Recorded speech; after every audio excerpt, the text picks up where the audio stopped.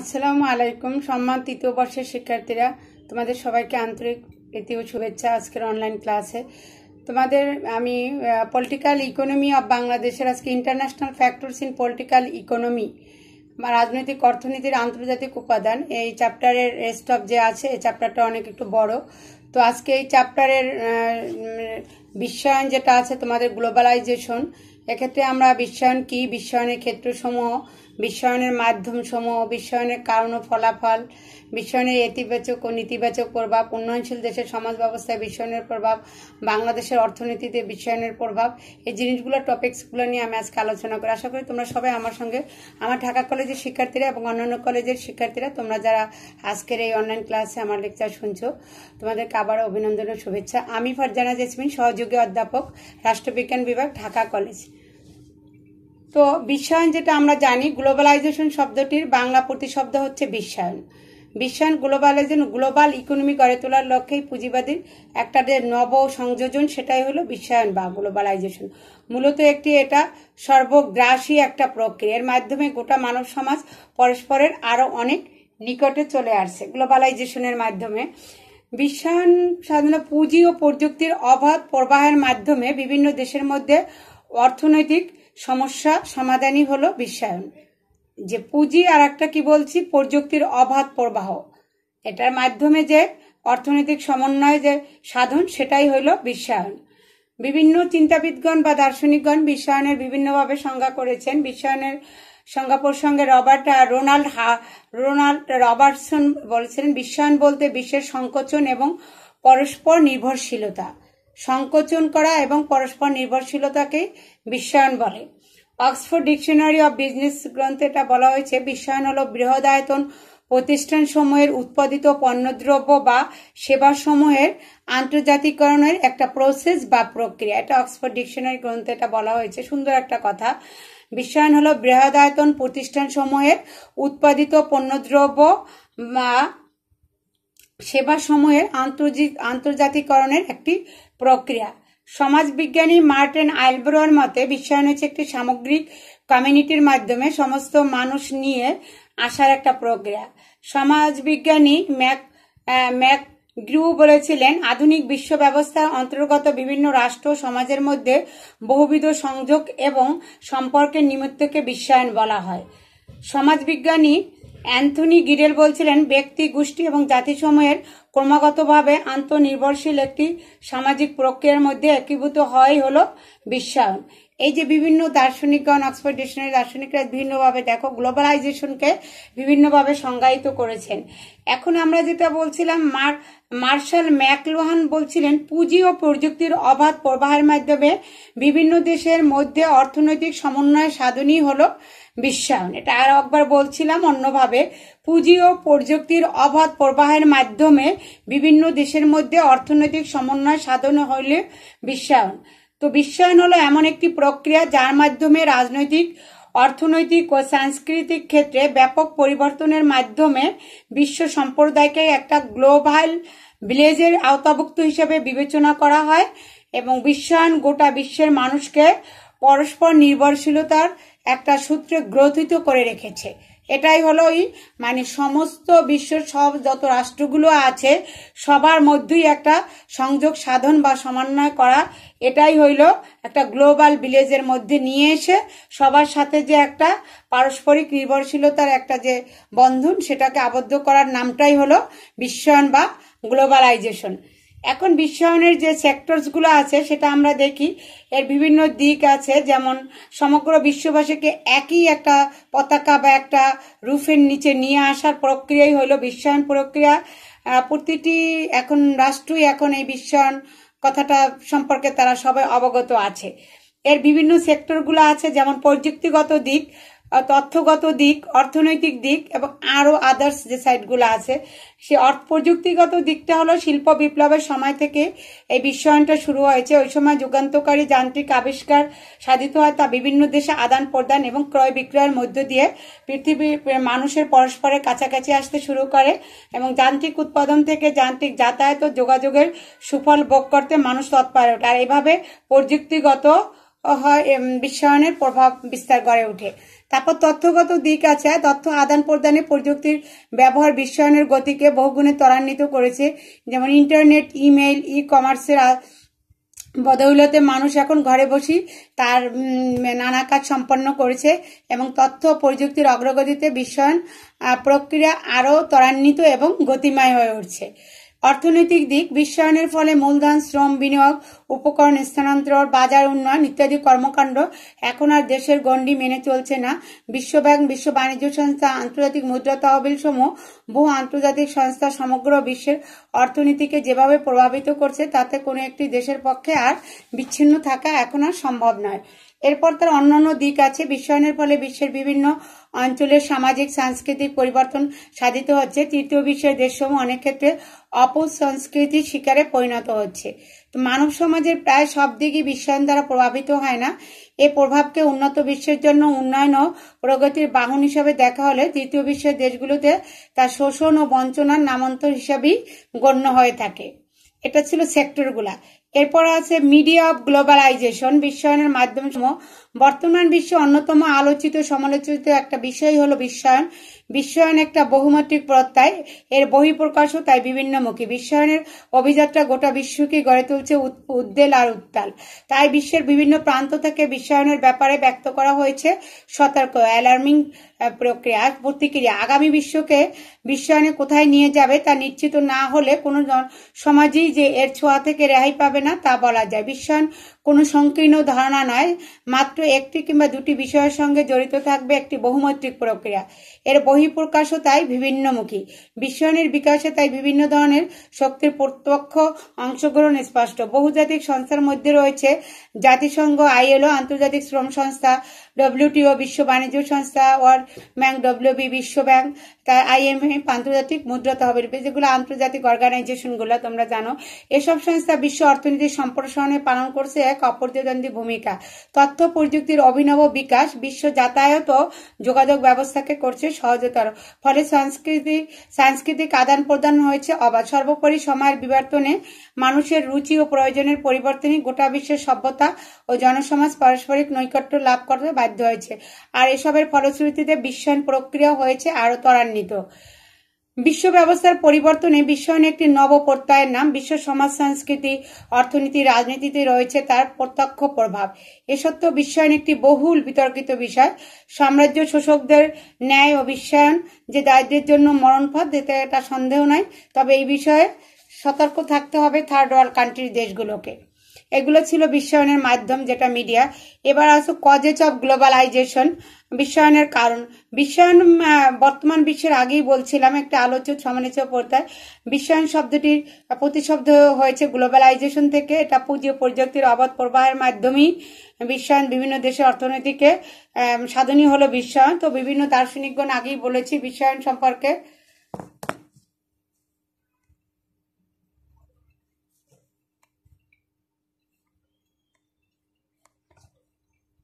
বিভিন্ন সংজ্ঞাগুলো তোমাদেরকে আগেই বলছিলাম। এখন বিশ্বায়নের যে কজেজ অফ গ্লোবালাইজেশন বিশ্বায়ন ব্যাপক ভিত্তিক একটি প্রত্যয় হলেও এটা হঠাৎ করেই এর উদ্ভবটা হয় না। বিশ্বায়নের কতগুলো উদ্ভবের কতগুলো কারণ আছে, যেমন তথ্য, যোগাযোগ প্রযুক্তির বিকাশ বিশ্বায়ন প্রক্রিয়ার প্রধান কারণই হয়েছিল তথ্য ও যোগাযোগ প্রযুক্তির একটা বিস্ময়কার বিকাশ।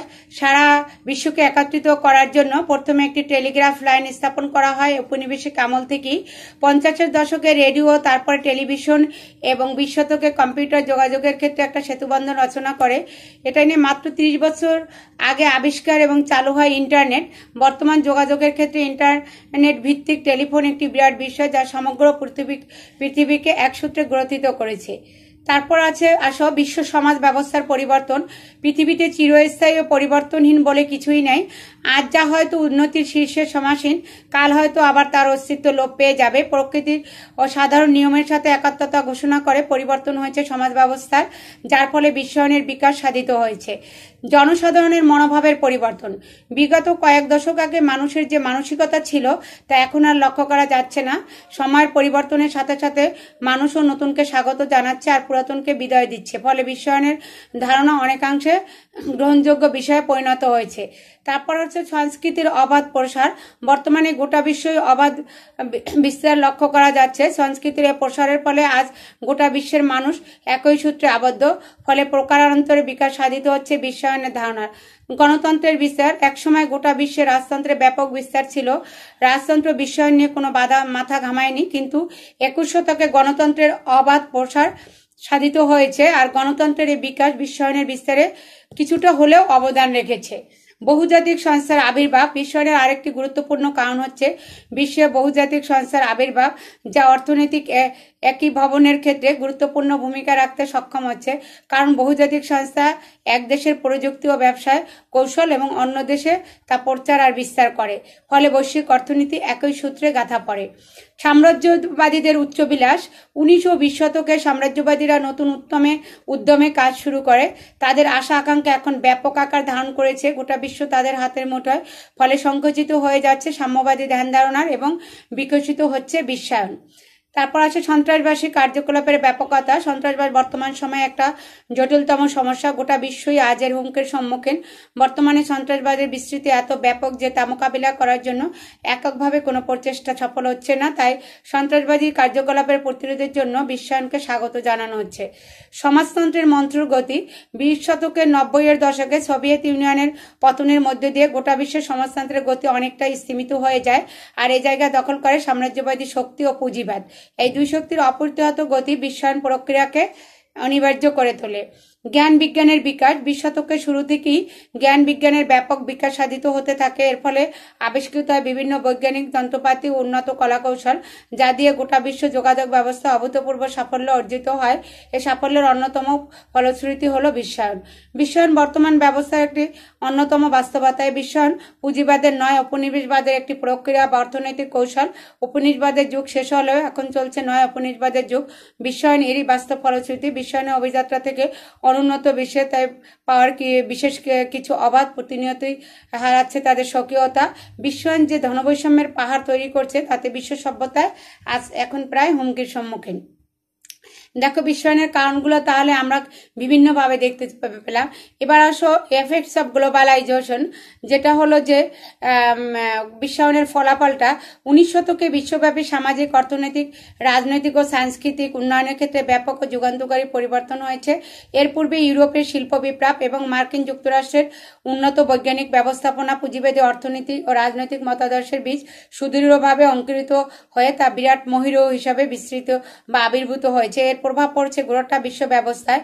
এর ধারাবাহিকতা পুঁজিবাদ বিশ্ব অর্থনীতির উদারীকরণ ও মুক্তিবাজার অর্থনীতির স্লোগান হয়ে মাঠে নেমেছে। বিশ্বব্যাপী একটি গ্লোবাল ইকোনমি গড়ে তোলার লক্ষ্যে পুঁজিবাদের নব সংযোজন হল বিশ্বায়ন। বর্তমান বিশ্ব ব্যবস্থার অন্যতম বাস্তবতা বিশ্বায়নের অপ্রতিরোধ জয়যাত্রা।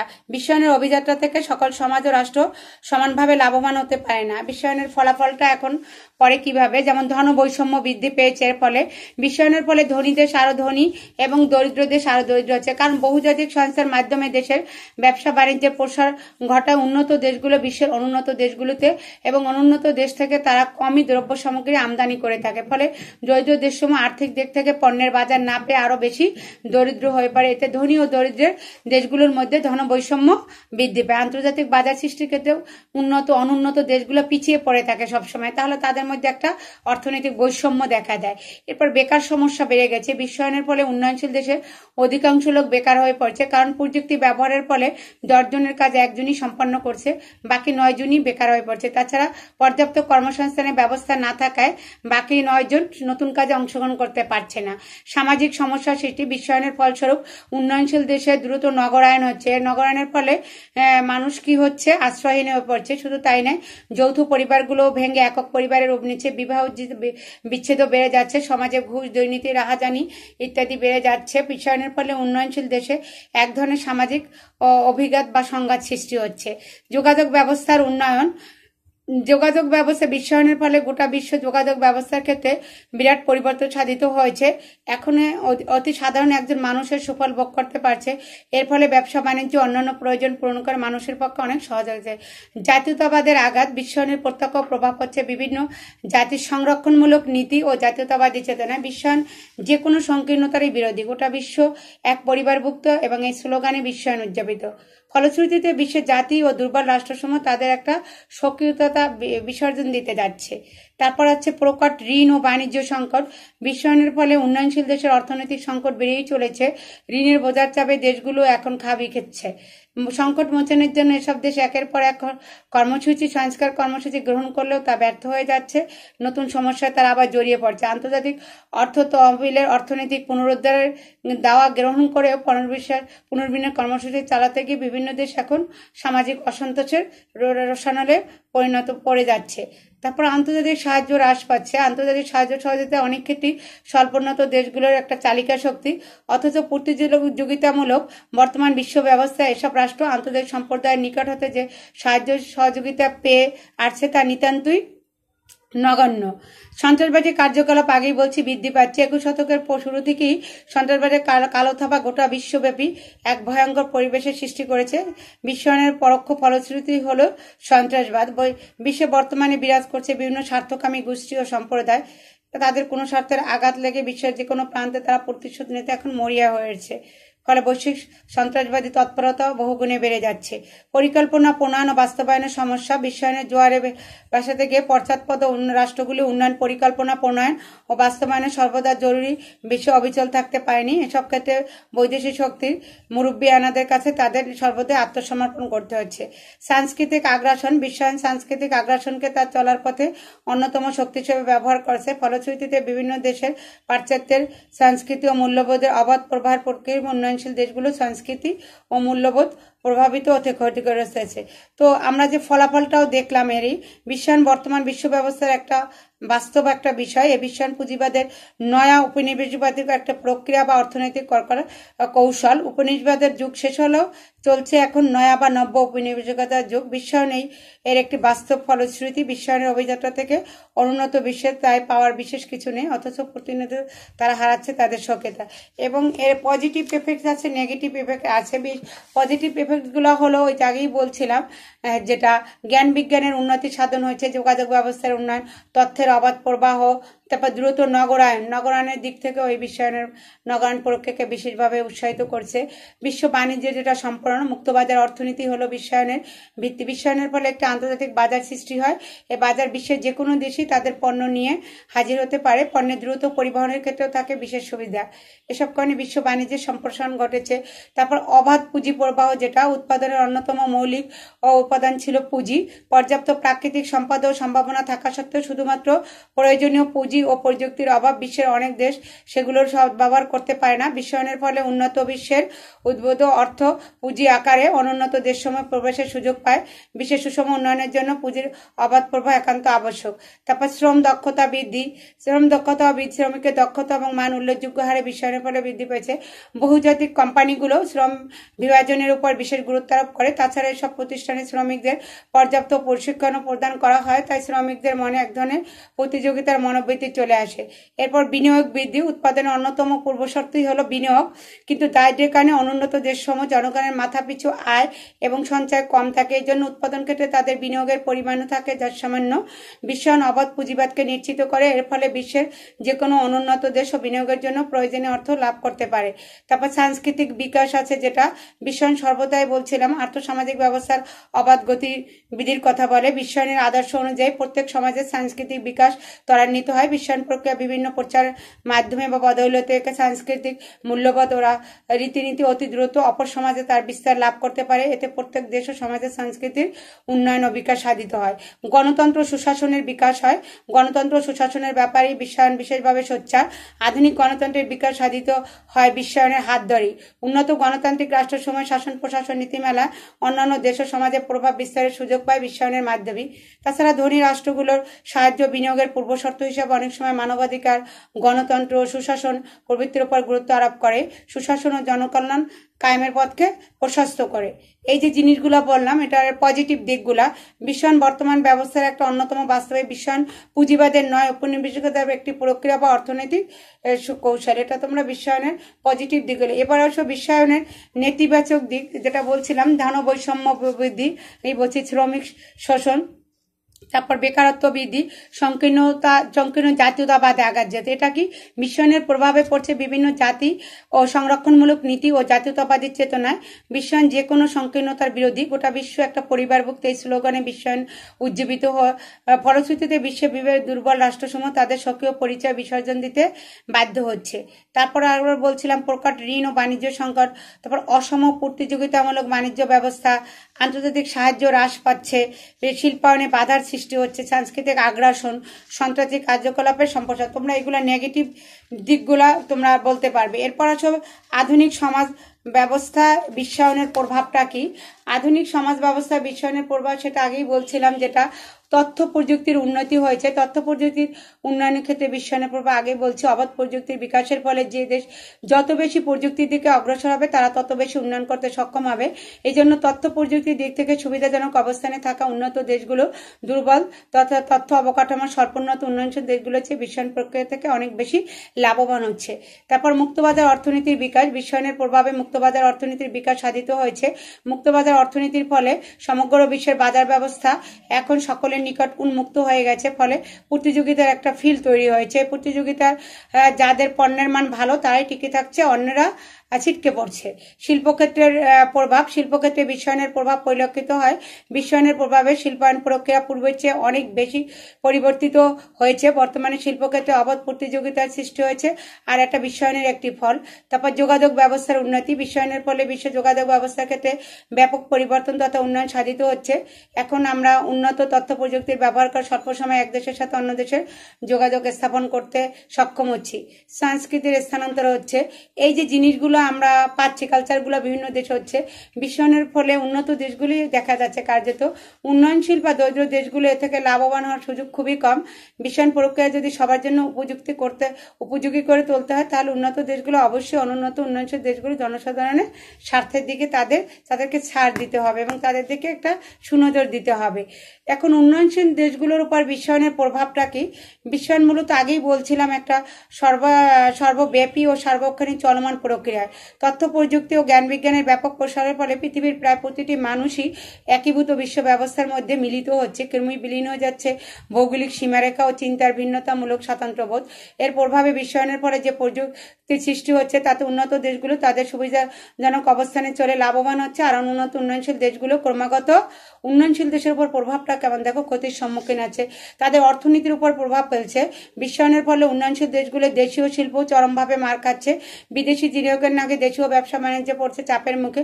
এমতো অবস্থায় এসব দেশের অর্থনীতি তাদের সক্রিয়তা হারাচ্ছে এবং ক্রমশ উন্নত দেশের সাহায্য বহুজাতিক কোম্পানির পুঁজি আর বিশ্ব সংস্থা মাতব্বরীর কাছে তারা জিম্মি হয়ে পড়ছে। সাংস্কৃতিক ক্ষেত্রে প্রভাব পড়ছে। বিশ্বায়নের প্রভাব স্যাটেলাইটের মাধ্যমে প্রচারিত অনুষ্ঠানের ধরন বিষয়বস্তুর সাথে স্থানীয় মূল্যবোধের প্রত্যক্ষ সংগত অনেক সময় দেখা যাচ্ছে স্পষ্টভাবে লক্ষণীয়। সর্বোপরি পুঁজিবাদী ও সাংস্কৃতিক উন্নয়নশীল দেশের সংস্কৃতির মূলে তারা আঘাত আনছে।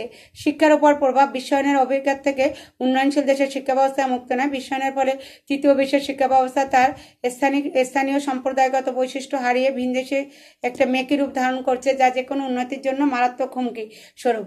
সমাজ ব্যবস্থার উপর প্রভাব ফেলছে। বিশ্বায়নের ফলে উন্নয়নশীল দেশসমূহ তাদের নিজ নিজ সামাজিক রীতিনীতি, আচার, অনুষ্ঠান ও মূল্যবোধকে হারিয়ে ক্রমেই একটি পশ্চিমা ধান ধারণা ভিত্তিক নির্ভর সমাজ ব্যবস্থার দিকে অগ্রসর হয়ে পাচ্ছে তথ্য প্রযুক্তির ক্ষেত্রে উন্নত, অনুন্নত উন্নয়নশীল দেশ বিশেষে পৃথিবীর প্রায় সব জাতীয় যে কোনো ধরনের যোগাযোগ নেটওয়ার্ক তথা তথ্য প্রযুক্তির সাথে যুক্ত। আর উন্নয়নশীল দেশের তুলনায় উন্নত দেশগুলো তথ্য প্রযুক্তির দিক থেকে সুবিধাজনক অবস্থানে থাকা বিশ্বায়ন প্রক্রিয়া থেকে তারাই লাভবান হচ্ছে এবং অনুন্নত বা তৃতীয় বিশ্বের দেশগুলো পিছিয়ে পড়ে আছে। এখন উন্নয়নশীল দেশের সমাজ ব্যবস্থায় বিশ্বায়নের যে প্রভাব, সেটাও আছে। বিশ্বায়ন মূলত একটি সর্বব্যাপী ও সার্বক্ষণিক চলমান প্রভাব তথ্য প্রযুক্তি ও জ্ঞান বিজ্ঞানের ব্যাপক প্রসারের ফলে পৃথিবীর প্রায় প্রতিটি মানুষই একটি একীভূত বিশ্ব ব্যবস্থায় মিলিত হচ্ছে। ক্রমেই বিলীন হয়ে যাচ্ছে ভৌগোলিক সীমারেখা ও চিন্তার ভিন্নতা সূত্র, স্বতন্ত্রবোধ বস্তুত বিশ্বায়নের যাত্রা শুরু হয়েছে। তৃতীয় বিশ্বযুদ্ধের ঠান্ডা লড়াইয়ের পরবর্তী যুগে এবং এর ব্যাপকতা লাভ করছে। উনিশশো নব্বই এর দশকে এসে যুক্তরাষ্ট্রের তৎকালীন প্রেসিডেন্ট জর্জ ডব্লিউ বুশ উনিশশো নব্বই সালের হেলসিঙ্কি সম্মেলনের পর বিশ্বায়ন ধারণার বহুল প্রচার ও প্রয়োগ ঘটান। প্রকৃত প্রস্তাবে বিশ্বায়নের পরে যে প্রতিযোগিতার সৃষ্টি হচ্ছে তা উন্নত দেশগুলো তাদের সুবিধাজনক অবস্থার ফলে লাভবান হচ্ছে। আর অনুন্নত উন্নয়নশীল দেশগুলো ক্রমাগত ক্ষতির শিকার হচ্ছে। উন্নয়নশীল দেশের সমাজ ব্যবস্থায় বিশ্বায়নের প্রভাব ব্যাপক ও বিস্তৃত। উন্নয়নশীল দেশের সমাজ ব্যবস্থার উপর বিশ্বায়নের যে প্রভাবগুলো আছে, সেগুলো আমরা এখন সেই জিনিসগুলো আমরা এখন দেখতে পারব। উন্নয়নশীল দেশগুলোর উপর যে বিশ্বায়নের প্রভাবগুলো, সেটা দেখো। বিশ্বের যে কোনো দেশগুলোই উন্নয়নশীল দেশের ওপর সমাজ কাটার ওপর বিশ্বায়নের প্রভাব এটা আগেই বলছি বিশ্বায়ন একটা যে প্রক্রিয়া আছে সেটা বিভিন্ন রকমের একটা প্রক্রিয়ার মধ্যে যাচ্ছে যেমন সম্পদের শোষণ। উন্নয়নশীল দেশগুলো প্রাকৃতিক সম্পদে যথেষ্ট সম্পদশালী। এসব প্রাকৃতিক সম্পদের যথাযথ ব্যবহার, প্রযুক্তি, কলাকৌশল তাদের ন্যায় বলে উন্নত দেশগুলো এখানে তাদের একটা দেশ সময় প্রবেশ করে এবং বিভিন্নভাবে তাদের সম্পদকে শোষণ করে নেওয়ার একটা প্রক্রিয়া চালায়। তারপর বহুজাতিক কোম্পানির নিয়ন্ত্রণ। উন্নয়নশীল দেশগুলোর অধিকাংশ বর্তমানে বিভিন্ন সময় বিভিন্ন ধরনের কোম্পানির নিয়ন্ত্রণে চলে গেছে। বিশেষ করে এসব দেশের বাজারে পুরোটাই নিয়ন্ত্রণ তারা নিয়ে যাচ্ছে এবং বিশ্বায়নের ধোয়া গান গিয়ে তারা উন্নত দেশ দেশগুলো যেন বাজার নিয়ন্ত্রণের জন্য একটা তাদের এজেন্ট হিসাবে কাজ করছে। ধনবৈষম্য বৃদ্ধি পাচ্ছে, এটা আগেই বলছিলাম। বিশ্বনের ফলে ধনী দেশ আরও ধনী এবং গরিব দেশ আরও গরিব হচ্ছে। উন্নয়নশীল দেশ সময়ের অভ্যন্তরে সমস্যা প্রকাটাকার ধারণ করছে। কৃষি ধ্বংস সাধন হচ্ছে যেটা। উন্নয়নশীল দেশগুলোর অর্থনীতি মূলতই কৃষি নির্ভর ছিল। বিশ্বায়নের কারণে উন্নয়নশীল দেশের উৎপাদিত কৃষিজ দ্রব্য সামগ্রী উন্নত বিশ্বের সঙ্গে প্রতিযোগিতায় টিকে থাকতে পারছে না। এসব দেশের পণ্য উন্নত দেশগুলো বিভিন্ন ট্যারিফ দিয়ে বাধা সৃষ্টি করছে। অধিকাংশ কৃষিক্ষেত্রে তাদের বিপদ ভর্তুকির সম্মুখীন হতে হচ্ছে। তার মাধ্যমে দেখো কৃষি ব্যবস্থাটা কৃষিরা হুমকির মুখে পড়ছে। বিশ্বায়ন উন্নয়নশীল দেশের সংস্কৃতিটা আগেই বলছি, সামাজিক স্বকীয়তা ধ্বংস সাধনও হচ্ছে। সামাজিক স্বকীয়তার মাধ্যমে বিশ্বায়নের উন্নয়নশীলদের সময় তাদের নিজ নিজ সামাজিক রীতিনীতি, আচার, ব্যবহার এবং মূল্যবোধকে হারিয়ে ক্রমেই একটা পশ্চিমা ধ্যান ধারণা ভিত্তিক সমাজ ব্যবস্থা থেকে এগিয়ে যাচ্ছে। তারপর পুঁজিবাদের প্রসার, পুঁজিবাদ ও মুক্তিবাদের অর্থনীতি বিশ্বায়নের ভিত্তি। বিশ্বায়ন পুঁজির অবাধ প্রবাহকে নিশ্চিত করে উন্নয়নশীল দেশগুলোতে বিশ্বায়ন তার কালো থাবায় পুঁজিবাদের মাধ্যমে দিয়ে থাকে। বেকারত্ব যেটা বলছিলাম বৃদ্ধি পেয়েছে। উন্নয়নশীল দেশগুলোর মধ্যে উন্নয়নের পথে অন্যতম বাধাই ছিল বেকারত্বে এগুলা। তারপর অপরাধ প্রবণতা বৃদ্ধি পাচ্ছে, সন্ত্রাসী যে কাজগুলো পেয়েছে বিনিয়োগ বৃদ্ধি। বিশ্বায়নের ফলে উন্নয়নশীল দেশ বিনিয়োগের পরিমাণ, উল্লেখযোগ্য পরিমাণে বৃদ্ধি পেয়েছে। এসব দেশ সবসময় মূলধনের স্বল্পতার পক্ষে বিশ্বায়নের কারণে উন্নত দেশগুলো, বহুজাতিক কোম্পানি বিভিন্ন ধরনের আর্থিক প্রতিষ্ঠান স্বল্পোন্নত দেশগুলোতে বিনিয়োগের সুযোগ পায়। তারপর জ্ঞান, বিজ্ঞান প্রযুক্তির উন্নয়ন। তো এরপর এরপর দেখো, এই যে উন্নয়নশীল দেশগুলোর সমাজ কাটানো এভাবে তারা প্রভাব পেয়েছে। এরপর বাংলাদেশের সংস্কৃতির বিষয়নের ক্ষতিকর প্রভাব। বাংলাদেশের সংস্কৃতি যেটা হচ্ছে, সেটার উপর যেমন পোশাক পরিচ্ছদের উপর, বিদেশি সংস্কৃতির প্রসারে চর্চা আমাদের ঐতিহ্যবাহী পোশাক পরিচ্ছদ ব্যাপক পরিবর্তন হয়েছে। এখন দেখো jeans T shirt scarf short পতুয়া lehenga বিভিন্ন নতুন প্রজন্মের পোশাক হয়ে যাচ্ছে, তার এগুলো পরতে যায়, তারা দেশীয় যে পোশাকগুলো, শাড়ি, লুঙ্গি, পাজামা, পাঞ্জাবি, এগুলো তারা এখন পছন্দ করছে না। তারপর ভাষা ও সংলাপের উপর প্রভাব বিশ্বায়নের আরেকটি প্রত্যক্ষ বাহ্যিক ধারণা হল আমাদের নতুন প্রজন্মের কথাবার্তার পরিবর্তন এবং অনুকরণ করে শিশুর বাবা মা বাংলা ভাষা সম্বোধন করে, বিশেষ বিশেষ করে ইংরেজিতে তারা ব্যবহার করছে। তারপর সংগীত ও লোক সংস্কৃতির উপর প্রভাব ফক যে সঙ্গীতগুলা, সেগুলো হারিয়ে ফেলছে। দেশীয় সংস্কৃতির একটি বিপর্যয় নেমে আসছে আমাদের সঙ্গীতের ক্ষেত্রেও আমাদের ঐতিহ্যবাহী সুসম্বর এখন হারিয়ে যাচ্ছে। তারপর উৎসবের ওপর প্রভাব, আমাদের সংস্কৃতির যেমন বাংলা পহেলা বৈশাখ পয়লা ফাল্গুন, তাই এই জিনিসগুলো এখন না পায় থার্টি ফার্স্ট ভ্যালেন্টাইন্স ডে, এভাবে বিভিন্ন উৎসবে দিয়ে ঢুকে পড়ছে। তারপর খাদ্যাভ্যাসের পরিবর্তন, আমরা যেখানে জানি যে আমাদের খাদ্যাভ্যাস এখন আমাদের বিভিন্ন রকমের ফাস্টফুড পিঠা, পায়াস, এগুলো আমরা এখন ভুলে যাচ্ছি। তো এই যে সংস্কৃতির উপরও একটা ক্ষতিকর প্রভাব ফেলছে। তারপর এই জিনিসগুলো কিন্তু তাহলে বিশ্বায়ন ব্যবস্থা, আসলে বিশ্বায়ন গ্লোবালাইজেশনটা ব্যাপারটা একটা ব্যাপক এবং একটা বৈশ্বিক প্রক্রিয়া। তোমরা যদি এই জিনিসগুলো দিয়ে থাক, দেখে বলতে পারো, তাহলে দেখো আমরা আজকে চ্যাপ্টারে বিশ্বায়ন সম্পর্কে ডিটেলস বললাম। এরপরে নিচে ইন্টারন্যাশনাল ফ্যাক্টরস অফ পলিটিক্যাল ইকোনমির আরও কয়েক দুইটা লেকচার আমার দরকার হবে। আমি নেক্সট ক্লাসে তোমাদের সঙ্গে তোমরা এ পর্যন্ত ভালো থাকো, আমার জন্য দোয়া করো, আল্লাহ হাফিজ।